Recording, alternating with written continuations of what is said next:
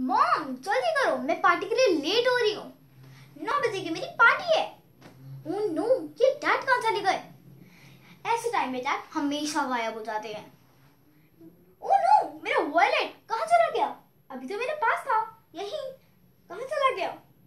ओ मैंने तो मॉम को दे दिया था रखने के लिए। चल भी मेघा, अर्जुन